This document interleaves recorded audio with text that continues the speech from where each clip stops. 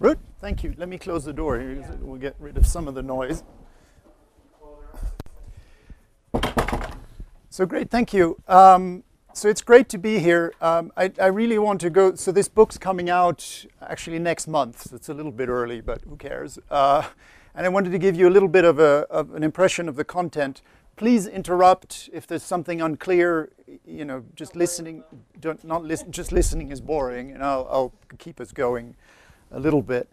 Um, I won't, you know, won't go into why the, why the climate is an issue. I'm assuming that either that's well known, or if it isn't, I'm not going to convince anybody. So forget about that.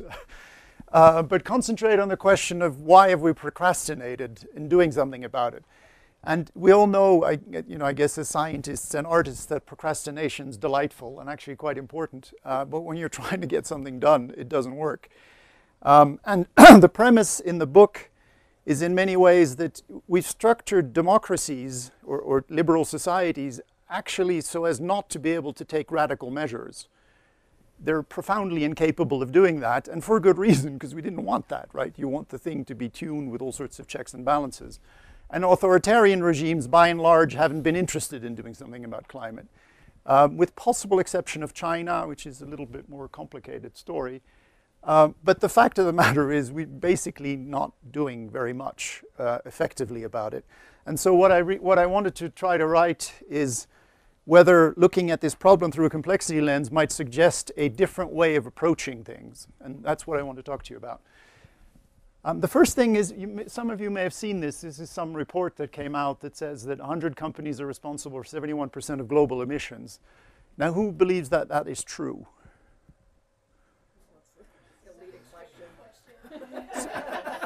So, who believes it's false? Who believes it's a stupid question?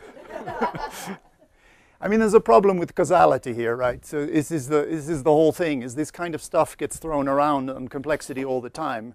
But, you know, if these 71 companies stopped producing their products, the world would stop as well. So it's kind of irrelevant, these kinds of things. But, but this whole... Well, I mean, this, impl this implies that it's their fault, right? I mean, if you can measure their emissions, Yeah. and you can measure the total emissions, It's the emissions of their products they count in here. That's the, that's the trick, right? So, you know, I'm driving a car, it's their fault. Honda, then it's Honda's fault. Right. Right. And if you leave your heating on and the window open, it's not your fault either, but it's the power company.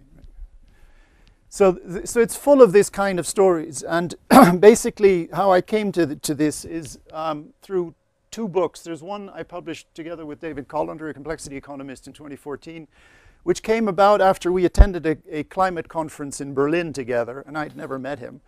And we both traveled back to Amsterdam, where I live, on a flight, short flight. And we were both kind of irritated by this conference because it was split in two. You had half of the people who were saying, oh, we need more state intervention, you know, that's the only way to get this fixed. And the other half said, oh, we need to have more market forces, et cetera. I mean, the usual split in things. And we were both interested enough in complex systems that we said, well, you know, this grossly oversimplifies the matter. Uh, let's write a book about that. And, you know, I don't know how many 45-minute flights you've had these kind, but we actually did, which was the unusual thing. And, and so this came out of that. And now, uh, five years later, I produced a second book um, uh, specifically about climate policy. So that's what I want to talk about today. But very briefly, to go back to the, to the first book, because it does build on it. You know, the one slide summary in many ways is to say that we've got all these pu- public policy problems, right? The usual things education, financial regulation, climate, da da da, healthcare. And the premise is that you can look at this through an economics of control frame. So basically, you know, top down intervention. Or you can look at it through a market fundamentalist frame. And the premise is that you can also look at this through a complexity frame. And the, the, the, the, the, the required skill by policymakers is to be able to decide which is the right frame at which time for which problem. And, and I've noticed, possibly not with you, but generally with audiences, I need to repeat this twice because everybody just assumes that complexity frame is superior. Um, and that's really not what's meant here. It's meant that you, know, you need to acquire a broader way of looking at problems and then decide sometimes a control solution may actually be the perfect thing. But have you considered it properly? And the second thing we went into this book is the relationship of the science foundation to the policy framing. Um, and a lot of the blowback from particularly economists is saying, well, this complexity stuff's interesting, but it's so new and it's not, you know, it's not ripe to deal with many public policy issues. And our, what we go through quite a few chapters in the book is to state that actually the economics science really isn't up to snuff at all to prove, uh, to demonstrate that the policy solutions that are argued in that context are correct, are scientifically correct. The scientific foundations are useful, um, but for most problems, with all sorts of notable exceptions, like we saw with the coronavirus, and uh, there are things where you can, there are subsets where you can say something quantitatively. But generally, there's a real gap between, and, and it's not the fault of the scientists, it's just the real world's a tough place. Um, and so that's, that's how we, we, we framed that, uh, the story in that book. Um, and to give you an illustration of how that works, is if we, if we look at German solar policy, and you may or may not know that if you have solar panels on your roof, it's thanks to the German taxpayer. Um, the Germans passed a three-page law which kicked uh, into gear something over 100 billion euros of subsidy for the solar PV industry. It's the biggest development project ever. Um, and it basically paid for the global cost reduction of PV panels. Um, and the question is, you know, what would, what would that story be as viewed through perhaps three different newspapers that framed this differently? So you might pick up, I don't know, the, the Frankfurter Allgemeine or something that gives you a story and says, well, you know, this is, this is, you know, an example of state action, you know, Prussian state action at its best. Um, you know, an intervention was made with strong government steer, and look what it did. You know, people in Santa Fe can now buy cheap solar panels um, as a result of that. You might pick up another newspaper and say, no, no, no, this doesn't make any sense. Actually, um, this is, you know, it proves that market forces work, right? You get the incentives right, the industry delivers, right? It was together with, with, with the Chinese and there's this whole unleashing of market forces. And, the and so that's pretty obvious. The question is, what's the complexity story here? And uh, one I would offer is that um, Solar panels are, a, are, are a, a, social policy as well, right? And you may have the experiences, I certainly do. I live in the center of Amsterdam in a part that's a World Heritage Site, and I illegally put solar panels on my roof. And what happens is that your neighbors start asking questions. They say, why do you do this? You know, does this make any sense? So it becomes an identity thing. And they ask you whether you know you're you why are you now a vegetarian as well? And you know what's that Porsche doing in your garage? And you know it, it, it expands to other social norms. Um, and in fact you see remarkably in Germany it's the only country in the world where um, possibly associated with this but uh, where uh, public support for very aggressive climate policy across genders across age across political affiliation is way above 80 percent Generally, the public says we have to go faster, whatever people ask. And so one, and this is actually, you may know, quantitatively relatively well studied, the infection of solar panels between houses and how that's different in various cities depending on the level of trust, etc. But to frame the story as a social policy, as a social norms policy, and the other things are true as well, right? But it's a different way of looking and justifying a social policy. My great ambition is once Angela Merkel leaves office to once ask her whether they actually thought about this when they were, when it's because it's really hers. She was the, the environment minister before, uh, before she got into this. Um, so what does this mean uh, to, to look at policy through a complexity lens? And, and again, I distinguish it from complexity science, which you know, I think is super and really important but for many of the issues is, is not up to snuff yet. Um, so one thing is to look to manage emergence as opposed to the agents, right? If you think about you know, CO2 emissions or, or carbon footprint as an emergent property, then you're actually not really that interested what any individual or what any company does. You're interested in how do I deal with the emergent effect, which is a which is a different, as you well know, but is a very different problem statement, and most policy questions aren't articulated in those terms. Um, you also look at the interconnectedness of systems. You know, there's a huge emphasis for good reasons on the energy system, basically saying if we'd replace every brown electron with a green electron, we'd be, we'd be fine. The problem is that that's completely implausible, right? There, we're, we're, we use so much that is absolutely impossible, and therefore we must also understand how all these other systems must change but also one of the reasons why we completely fail at decarbonizing the power system is that it's so deeply interconnected with every other bit of society. It's, a, it's really the linchpin of a lot of social systems.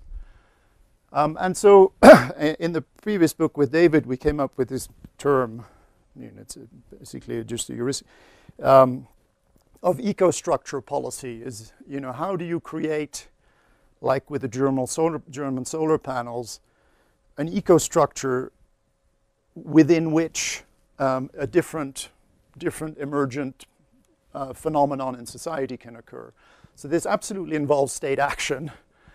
Uh, but in, in a sense, it's, it's a very strong state, but that does small things, right? It's little tweaks that have big consequences. So to look for those. And then, of course, finally, do it in an adaptive way, because you'll certainly get it wrong at the first go around. So you have to figure out how you, how you correct as you go along. So, you know, for lack of a better term, uh, it's, it's to, you know, instead of, of intervening on the agents, as a lot of policy is, or assuming that if you, if you deregulate, you don't do anything, then market forces will somehow magically get things correct. You say, no, actually, whatever the market structure and the social structure are, are human creations in society. They're not natural systems. So therefore, you have to create an ecostructure within which a particular, i have got some examples afterwards, within which different patterns can emerge.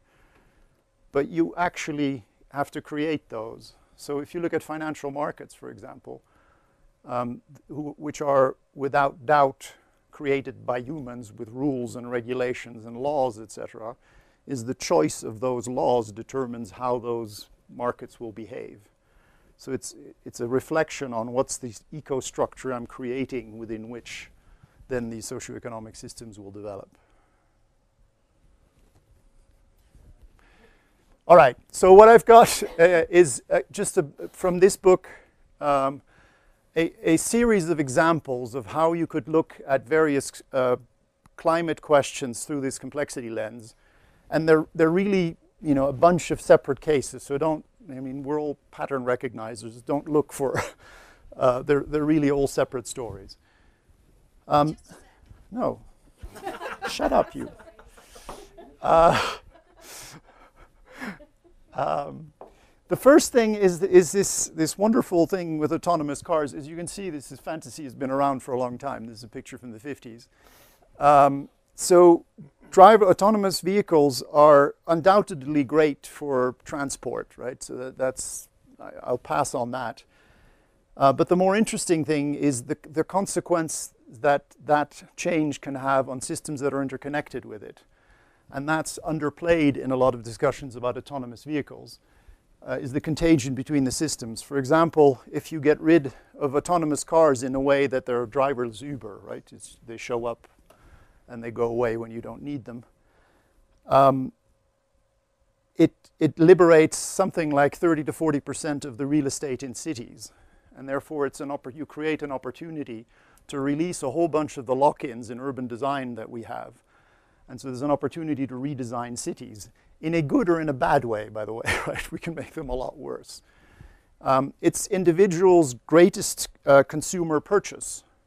And therefore, if that disappears, then there's also a chance of redefining the way we think, we think about consumption. Now, we could, you know, tumble into some other awful thing or create a different set of social norms um, you know, the hospitality industry, alcohol consumption, right? You can drink and drive and do all sorts of other things and drive. Um, so there's a whole bunch of knock-on consequences in adjacent systems. And if you think about climate policy, one of the greatest issues is that everything is so locked into each other, is that there's no space to change. And so this has the potential to be a catalytic change across a whole bunch of socioeconomic systems. Now, the other interesting thing of this is that there are two ways to get there. The car industry is pushing for an incremental path where you continue to have individually owned super heavy cars. Um, you know, I, at, at home in Amsterdam, I've got a big electric car parked on a subsidized public space that drives about 2% of the time and weighs 2,600 kilos, uh, which of course is an insane product. But the car industry is pushing in that direction, and, and so there's an incremental pathway that will get us essentially into a worse state than where we are today. And in order to get to um, this opportunity, we're to actually going to do something, um, which may require such drastic things as separate road systems for autonomous vehicles to physically separate them. Um, and yes, Not especially skeptical, but can you say why this sort of incremental path car industry prefers will necessarily will bring us into a worse state than we're in? yeah, because we, we so part of the of the trick with with these autonomous vehicles is if one of the reasons cars are heavy is because humans human idiots drive them essentially. So we we we make all sorts of accidents and kill I think 50,000 people in Europe and in the US a year, etc. And if you and autonomous vehicles essentially don't do that or reduce it in orders by orders of magnitude, and so you can make them five times lighter and they have greater distance and you, you liberate all sorts of and so in order to get to that state you, you, you actually have to break the lock-in of the heavy individually owned car certainly in cities etc i mean here who knows but um, so there are different pathways but basically the idea is you know try to understand in a policy question what's the knock-on effect of these other systems and then manage them accordingly Another um, thing, completely again, completely separate chapter, is in, as you know this idea of ecostructure policy. What are the things you need to put in place in order for the system to to find its its new solutions and its new states? Um, you, often hear that renewable power is intermittent. Actually, the bigger problem is that demand is intermittent, which is kind of under a underplayed, but you need to match the two.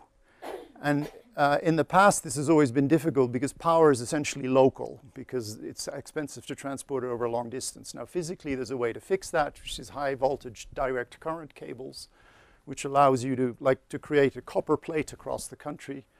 So that if you've got excess solar in California, you can move it down to to Ohio or whatever, and across Europe and across continents. Now, China, the Chinese have understood this and have built already 30,000 kilometers of, of high voltage DC cables, um, which essentially is the enabling infrastructure where then you, you, you don't specify anything about renewables, but you actually allow that market to start working. If you don't do this, it, it, it just can't take off. So China is doing this on a massive scale. Europe is doing it in its own cobbled together way. Germany is running cables north south, and there are a few from Norway into the Netherlands and some in Italy. And at some point, it'll gel, maybe. Uh, and the US, interesting, is doing nothing in this uh, because it can't figure out cross state permitting, is, is my understanding. Um, but this is, is the kind of uh, and it's not that expensive. For Europe, this would be about $100 billion, and for the US would be the same, which sounds like a lot, but in energy terms, it actually isn't. Um, so, so again, this isn't specifying the percentage of solar you need to have in a particular year, but it's creating the, uh, the infrastructure within which people can invent all sorts of new things. Um, another example, um, which has been much maligned, possibly for good reason, is Germany's sol- uh, exit from nuclear. You may or may not remember that when Fukushima happened, literally within days, um, the German chancellor said, you know, we're getting out of nuclear entirely. Um, and that seems paradoxical because, you know, both economically it's not great because these are depreciated plants. And ecologic, environmentally, it also seems silly because whatever you think of nuclear, the ones you have are actually carbon free, so you might as well run them for a while. Building new ones is different. But, um, but here also, you, there's, a, there's a second side to this story. Is I've uh, through my previous life know some, have known some people in the in the senior positions in German power companies. Um, generally, old men in sort of a bastion of power around the Ruhr, and they generally considered that this whole renewable and, and climate policy thing wasn't their problem, right? Is you know, real men don't do renewables. That was other people were doing that. They were doing big. Um, I did some work in South Africa where they actually called their coal plants. They build them in six, and they call them their six packs. I mean, this is part of the of the culture of that industry. And what happened here is when when the, the when uh, the German government announced that the nuke, nukes were being closed, it basically destroyed enormous amount of value in those companies. And the, the boards basically said, well, wait a minute, the power system won't work anymore if you do that. And you basically you create, you, you broke the equilibrium in the system and, and it created an, an absolute uh, watershed of restructuring of the power industry, new people in, etc. And so you have this interesting thing where you do something that's both ecologically and economically unsound, but actually it leads to a major system change. And we actually don't have the tools to add those two things up, right? We don't know how to value between those two things, but it's still, they're both real. So, um, and, and the story is, is almost never told in these terms. It's always about, you know, this was expensive and stupid and etc. Um, another uh, of, the, of the many stories in this book is uh, it undoubtedly inequality, asset and in income inequality is an enormous hindrance for climate policy. Um, you've seen perhaps in France, you had this yellow vest movement um, where because the, the, the, idea was to introduce a very small tax on diesel fuels, um, and that created an enormous amount of protests. And when you unpack that, so it's been framed as by economists generally as saying, well, you know, clearly there was a you know, supply demand problem and people don't want to accept that. Um, but if you unpack it, the history is, is, gener- is that you know, people with lower incomes have been forced out of the center of large cities. Um, the wealthier people in cities enjoy subsidized public transportation. And the kind of unspoken social contract was, well, you can go and live some far away, but you know, you'll have a cheap diesel to, buy, to drive to your factory. And then the next thing comes along, and by the way, we're increasing the price of your diesel.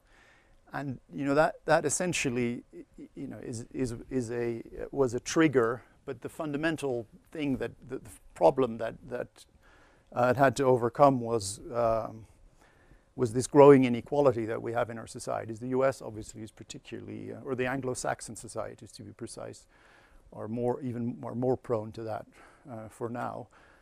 Uh, but understanding that that's a, a, basically a blocker of, of, uh, of, any, of, of many climate policies, I think is absolutely critical. Um, because again, it creates these enormous path dependencies that people just aren't willing to get out of. So unless you deal with inequality, you probably won't be able to reduce carbon pretty much. Um, the other thing, so another story is on uh, learning curves. So the idea of learning curves, so the fact that something gets cheaper when you make more of it, actually was studied for the first time exactly uh, during the construction of bombers in the Second World War, the B-17, I think um, where they started to understand, you know, how does that work? The, the, cost reduction, you know, the famous rule of thumb for every doubling of the installed base, you reduce the cost by about 20% is the economic rule of thumb with huge variation across industry. But in policy terms, we use the same word for subsidy when it pays for a learning curve or when it pays for a continuous subsidization of a stable, subsidization of a stable state. And of course, they're two completely different things. And so, uh, first of all, we, people have to understand in policy terms that these things are different, and, and you know, words matter, is that we should probably introduce different terms for those two different things. And it's pretty clear that learning curves are pretty much always paid by the public purse somehow. They're always directly, indirectly taxpayer funded. So we have to find a way to make that acceptable in our society and distinguish it from, from subsidizing the stable state. Uh, and it's currently in our public policy narrative something that we can't, uh, we've not been able to do. And it stands in the way of all sorts of things because many, you know, sorts of populist narratives play on this. Um, the uh, another another little chapter is, is the, the, idea, the very idea of a company. So, the, do you know where the company was invented? Of course. well, the, to be fair, the Rome, I mean, there were a few things before, but the current, the current incorporation was in 1602 in, in the Netherlands, the East Indies Company. And its purpose was you had a bunch of rich people in Amsterdam who were sending ships to Indonesia and, lo- and losing them on the way, and they wanted to pool the risk. That was basically, so they created an entity structure for that particular purpose.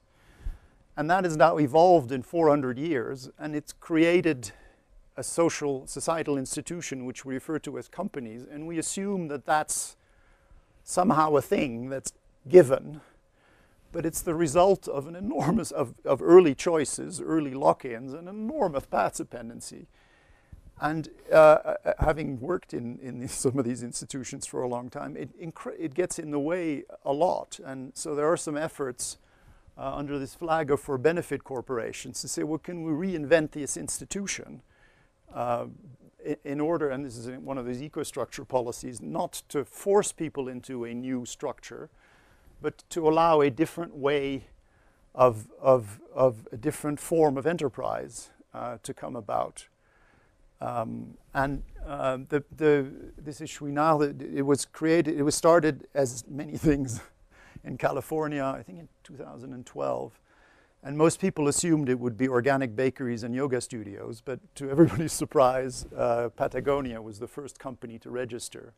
And then soon after, some subsidiary, subsidiaries of Unilever, and so it's, it's, it's gathering pace. Um, this may or may not be the right solution. There are very few countries who do that. The US has it now in half of the states, with, remarkably with bipartisan support, which I understand is a rarity in this country. um, uh, only one country in Europe has passed this legislation. Anybody care to guess? No. Italy. Go figure. and in South America, Colombia. I mean, it's, it seems to be rather random. Uh, but, but this reinvention the realization that these institutions that we take for granted are basically the result of enormous path dependencies and, and that there is space to reinvent them uh, and, and actually is necessary to reinvent them is, is another one of the arguments that um, I think if you don't look them at them through the language and the framing as complex systems, you, it doesn't get into the uh, narratives. Um, uh, another issue is, is this thing. Uh, red meat is, is, the, is the in, in many ways, is the easiest way to fix a big chunk of climate, right? If people were 8, 90% less meat, it would make a huge difference to carbon emissions. And that's fundamentally because meat is an inefficient way of generating energy for your body, right? If you eat it, the, the conversion processes from solar energy into a plant, into a cow, into a human is, is an insanely inefficient chain. So that's, that's, that's the fundamental reason. Um, but one of the interesting things, and, and we were just talking about that, I, I, you know, as much as we know, and thank, partly thanks to people who work here about the propagation of social norms, we tend to focus on the negative social norms. Um, you know, like anti-vaxxers or obesity and those kinds of things. But actually, the propagation of veganism and veganism and, and, vegetarianism has never been studied, as far as I could figure out. And it's kind of interesting if you see that there's this, this, you know, climate contribution that would be enormously valuable. That you know nobody's ever looked at it through this lens. People talk about taxing meat or, or et cetera, which, you know, again, is never going to happen or never going to happen at a scale enough to make a difference. So understanding whether, you know, I don't know how many people don't eat meat here, but is that as a result of your friends, your children, your teachers, your parents? I mean, where does it, you know, what are the sources of influence and how do they propagate? Is, is fundamentally unknown, which is kind of frightening for something that makes such a huge difference to, uh, to climate. So hopefully, perhaps something you guys can solve in this building. Um, uh, I've got one or two more examples, and then. Um, so stories. So Elinor Ostrom, right, who's who in, in many ways, you know, probably one of the broad thinkers on on on complexity and social systems, emphasizes how important stories are for social change.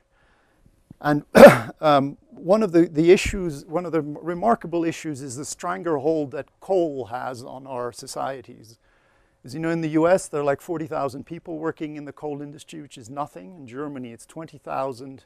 It's, it's very small numbers.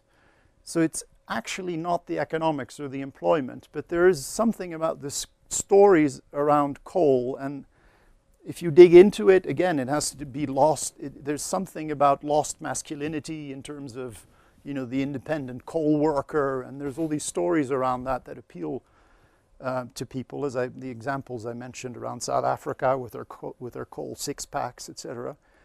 And um, I, I ran across, so the northern, northern France uh, was, was a big coal basin, and I uh, met one of the mayors of the, most of the towns are run by mayors from the far right, because inevitably, uh, as you witness here, I think, you, um, you know, this kind of social uh, tension translates itself into populist uh, politicians.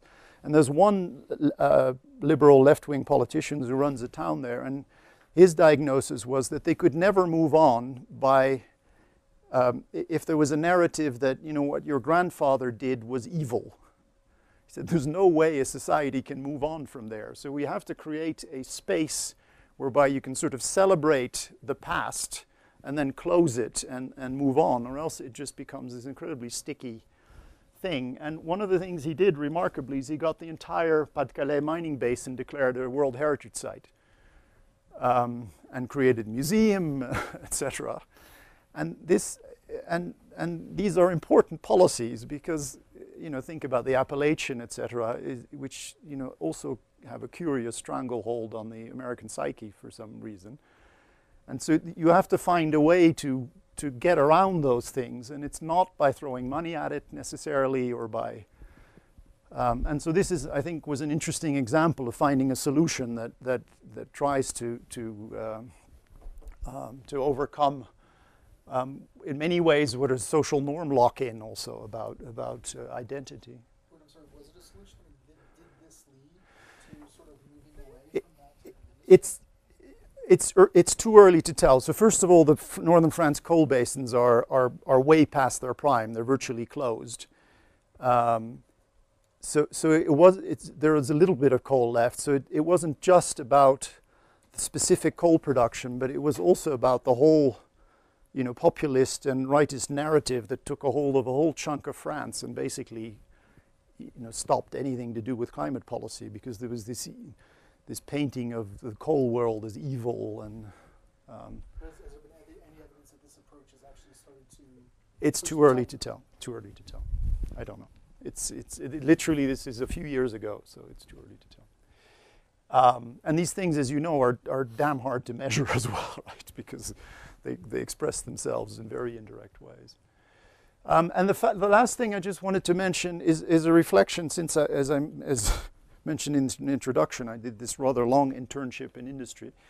Um, uh, about half, 11 years at AT&T in, the, in, in telecoms and about half at Shell in, in, the, in the oil and gas world. Um, and one of the things that, that, that I, and being interested in, in, in, in, complex systems, et cetera, I, I, I realized that you know companies actually don't change and can't change for, for a very specific reason is that as an institution they're entirely optimized for efficiency and not for adaptability and resilience. And there's this wonderful image of tardigrades as you know are the most resilient creatures that we don't like to look at. And we, we also and, and you know of course these kind of cats that are um, incredibly efficient but to the point that if they hunt three times they're basically have exhausted themselves. And so as humans, we actually have an aesthetic preference for efficiency over resilience, which is also interesting to note. Uh, but companies essentially have, have been, through the way the institution is designed and through the market mechanisms, etc., are entities that have very, very little adaptive or change capacity, and that's because we designed them that way. It doesn't mean that the people who work there don't understand how the world works, etc., but institutionally they're incapable of changing.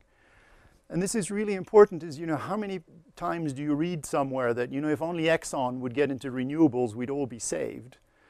And, and you know, I- I think it's really important to realize that they won't and they can't and they shouldn't because they do a terrible job of it.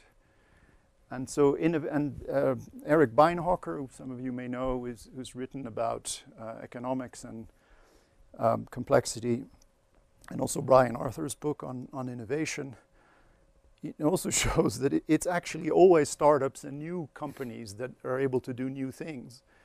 Uh, but this is something that is deeply unaccepted in policy circles, right? The stranglehold that the incumbent companies have on, on policy is enormous, and, and you know, being able to say that the emperor has no clothes, that they will not provide the solutions for the future, is, is an absolutely essential platform uh, for change.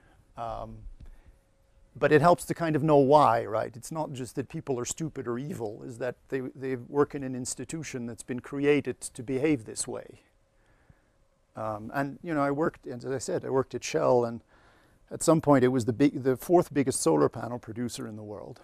Um, and it was terrible. I mean, it lost half a billion a year, and then at some point sold the business to another company that turned it around in six months and was making money.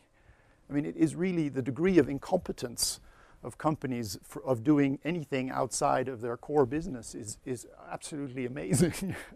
they really are not able to do uh, very much. Um, and, and again, also, it's also something you can only see if you sort of step back and try to understand, you know, what's the systemic role and what's the institutional role of companies. And finally, the, the frustrating, in some ways, thing as you know I, I talk about this book to people is you know everybody wants to hear what the solution is right okay what should we do to deal with climate change and um, you know it's very clear that uh, from a complex complexity perspective there are no panacea right there isn't a single solution that's going to work His solutions will inevitably be context and time dependent um, but my hope and my premise in, in this book, which I think you know people have read it have said they were at least pleasantly surprised that it was somewhat optimistic, which is a little hard to do in the climate space these days. Um, i- is that by you know adopting these frameworks and using the language and, and studying the science that actually does exist, um, you, you're, you're able to come up with new solutions that otherwise wouldn't be part of the uh, of what's being considered. Um, so that's, I want to thank you for your.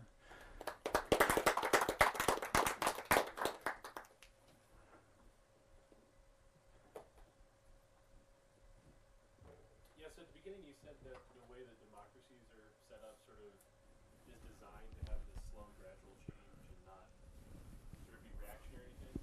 Um, you know, the counterexample that often gets discussed there is, is war, Yeah, where the, you know, democracies in the past have responded very quickly. yeah. War and bailing out banks, we do well. That's the, yeah. Yeah, and so I'm wondering, is that, is that from this lens, how do you see, why is climate change so different than war or these other sort of short time scale crises? Yeah, it, it, it, you know, objectively it isn't, clearly. Um, but I mean, there's, there's, you know, I think as human psychology, there's, co- there's enormous amounts of cognitive dissonance involved. And, you know, if, there, if somebody's shooting at you, you, you know, that's an accepted, recognized state. And uh, it's really, uh, we- we're just still collectively in denial, I think, that this is the equivalent of a state of war, yeah.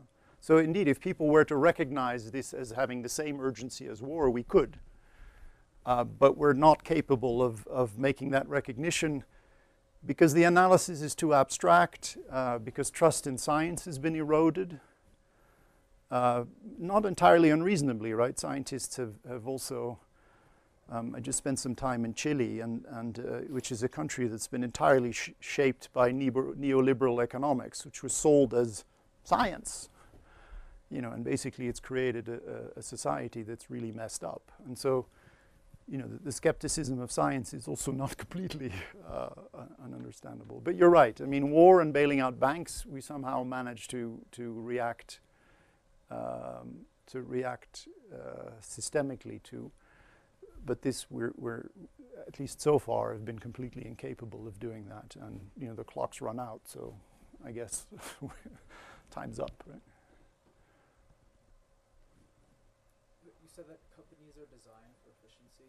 So could you say a bit about what the design principles are there that lead them to be efficient and not resilient? And then sort of maybe a more critical question, like, do you think they're designed for efficiency? Or is some of that historical accident and sort of like a, a gradual historical emergence? Um, so it's the design of the institution, right? It's the thing that evolved from the uh, um, from the, the 1602 East Indies Company. So you know that's evolved through legislation that's been created in all sorts of countries and debates and power struggles, etc. And so that's created what we have. Uh, but the centrality of profitability as a fitness criteria, not as a goal, but as a, I think I think of it as a you know as a, as a very strong fitness criteria, you know leads you to to eliminate whatever investment you may have in adaptive capacity. Um, because it's under constant pressure, and I, I, you know, one of the things that Shell, for example, did well is it had this entity inside of it that called the scenario planning group that thought about the, the, the uncertainty of the future.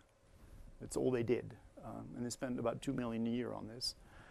But it was under constant pressure, right? You constantly had these people saying, well, can we get rid of that because we'd make more money? And so there's this constant pressure to focus and do the central thing that you do and do that um, and squeeze more out of that. Um, and so there's this, this ongoing tendency to cut out the adaptive capacity and the innovation, uh, innovation. Not entirely, right? I mean, incremental innovation is clearly there. You know, people are capable of improving products, etc. But that's very different than uh, getting into a new industry. And so, we'll, one of the th- one of the places where it will play out is that it's highly unlikely that the current car companies will be able to build electric cars because an electric car is only like a fossil car in name. You know, it has one tenth of the parts, completely different supply chains, it's different technologies, it's stuff that people don't find cool because it doesn't have certain things that they like. It's, so there's there's all sorts of, and we'll see how that plays out. But it's it's quite likely that most of them will not be able to do that um, because they don't have the adaptive capacity. They're so optimized around getting 20,000 parts into these heavy fossil vehicles, and you can't do the other thing. Um, That makes actually really true though, that like companies can't pivot. I think especially with like with like these big mega corporations like Google and or like the ones that you don't really talk about that are there like that really control the country. I mean like like PG for example, right? Like or whatever it's called, or BP or like these companies that are like nobody really knows what they are, but they actually own ninety percent of America and like they pivot all the time, right? Like they're making diapers and now they're making this and now they're making that and like I don't see how they don't I'm pivot sure much. there's lots of examples where, like Shell, I mean, I'm sure there's lots of examples where companies tried to pivot and sucked at it. Um, you know, like Denny's probably shouldn't go into tire making. Um, but I'm sure there's like tons of examples where like Google spun off something and it's super successful. There are very, there are very few. There are very few. There really, I've looked, and I mean, they're the ones people. They're the, you know the, the ones that people always quote is, look, IBM went from you know making computers to being in services, and Nokia from being in tires and rubber boots into being into cell phones. But like so for like Amazon, And then that's it. So Amazon is like this website that sells stuff, Books, stuff, yeah. book stuff. Now they're like one of the biggest cloud computing services out there. Period. Uh, Like AWS, for example, right? And like they are the cloud computing service. Like that's a huge pivot, right? That's not like a generic thing. Well, they've added a business, right? They've grown a business that was part of their business model. Uh, But AWS is like wildly independent of the storefront. yeah. It was just, I mean, they had to build the, I mean, they built AWS on the back end, right? So they kind of got it for free, but See, maybe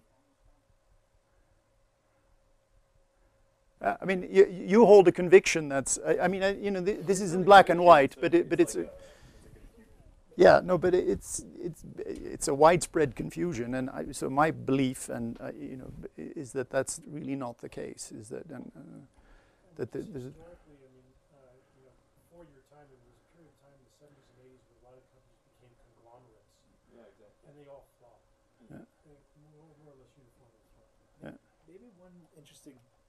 interested in this in this discussion are like the Japanese conglomerates, like yeah. Mitsubishi, Mitsubishi makes cars, but I remember once I was also looking at can of tuna fish, and so it was made by the Mitsubishi Corporation. Also made like TVs and stuff too. Yeah, yeah, but maybe there's there's specific case specifics. I mean, I want to argue that there's a structural defect in particularly the banking system around the Keiretsu and zaibatsu okay. companies in Japan that those organizations were specifically designed to solve because they typically were built around banks that Okay. solved credit problems that were Mm. endemic in their economy.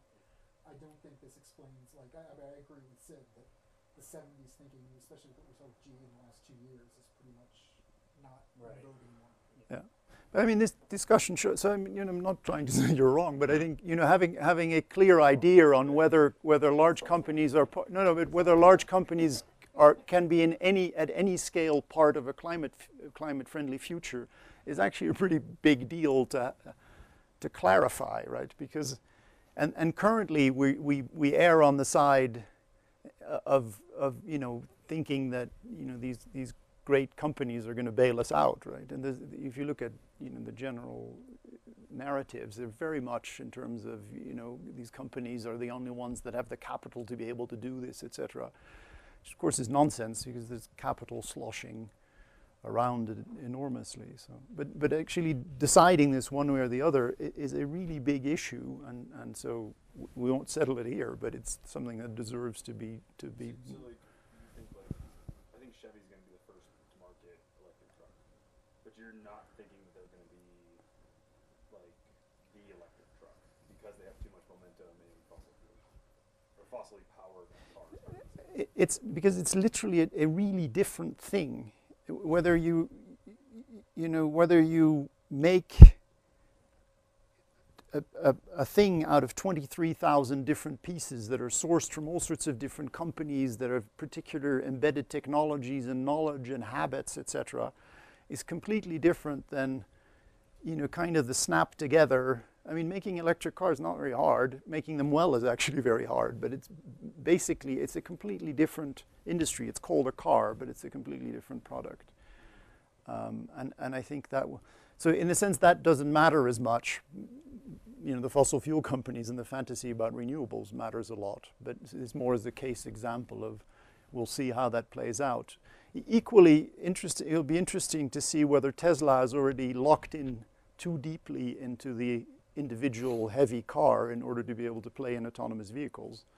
They may well actually not be able to do that. We'll see. I mean, I, I don't want to predict that, but asking those questions and figuring them out from a policy perspective is a great taboo, and, and they really ought to be uh, debated and sorted out. So there was always this thing that I heard, and it may or may not be true. I Never looked into it. Um, Somebody told me. yeah, somebody told me, um, that the yeah exactly. So that, that um, the carbon footprint of producing a Prius for a consumer in the U.S. is more than the carbon footprint, a lifetime carbon footprint of like a Hummer because a Hummer's built in the U.S. Is that true? No.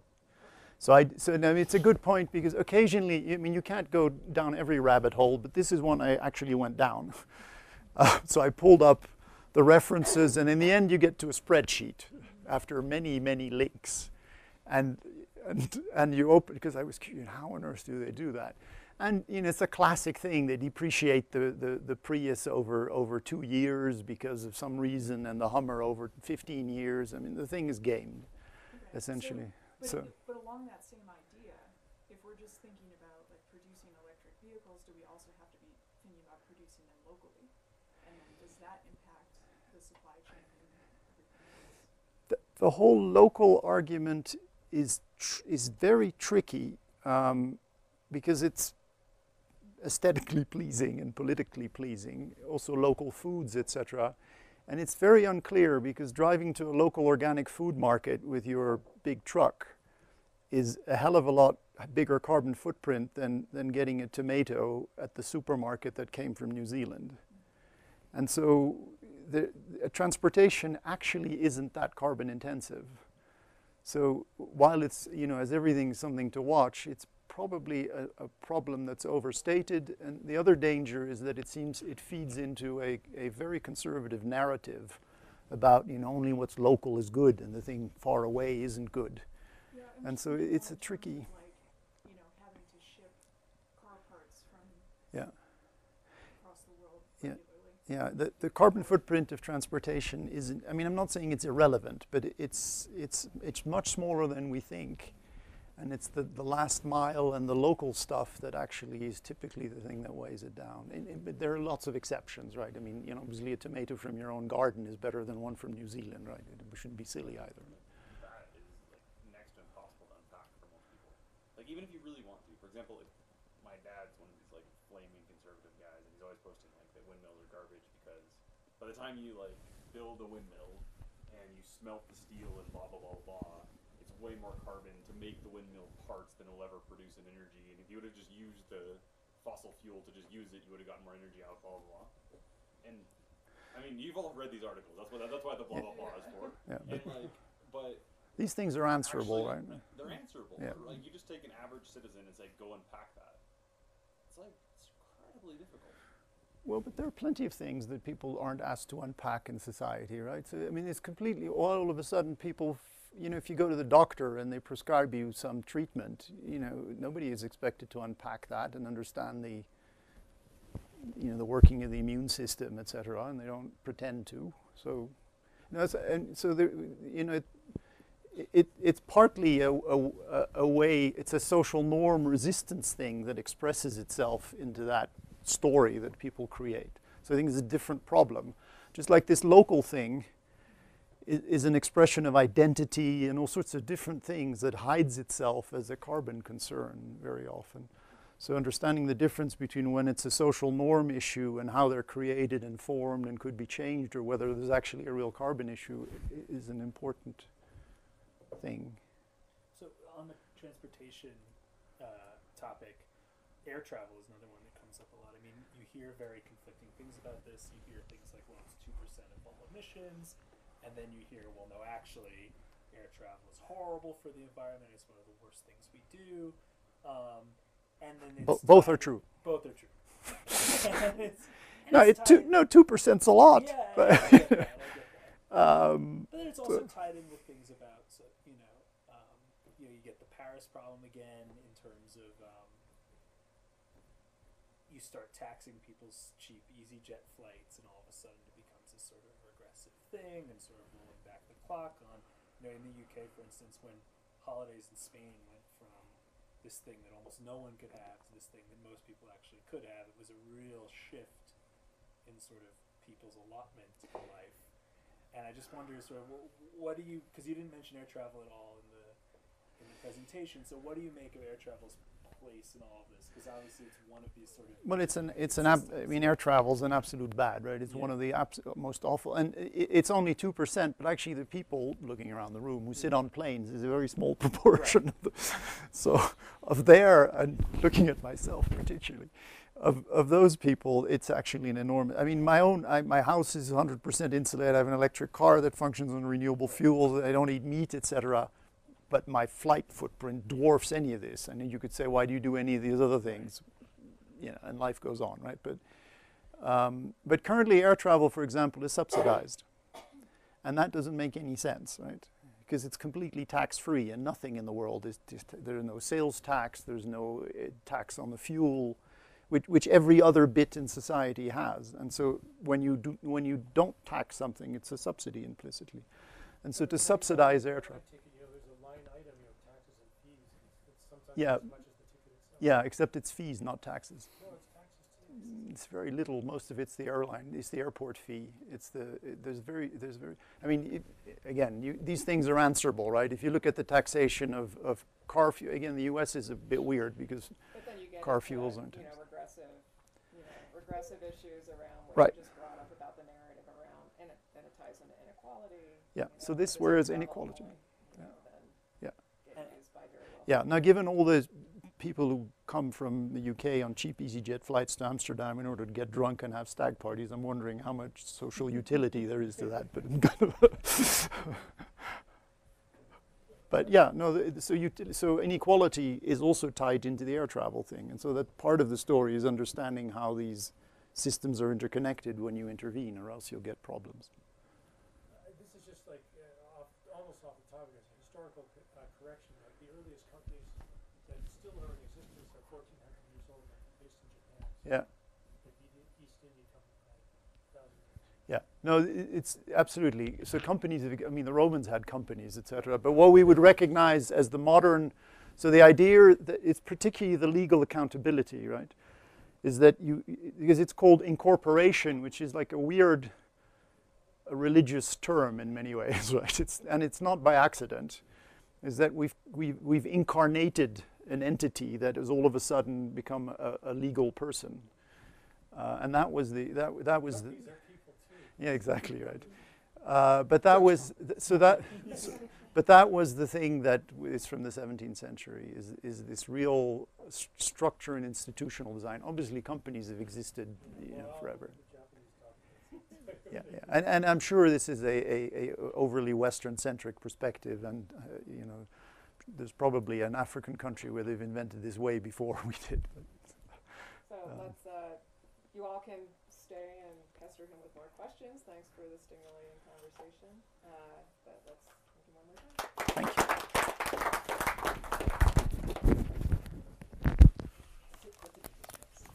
What's it? What? Same, same, same question. Yeah. So let me get rid of- uh,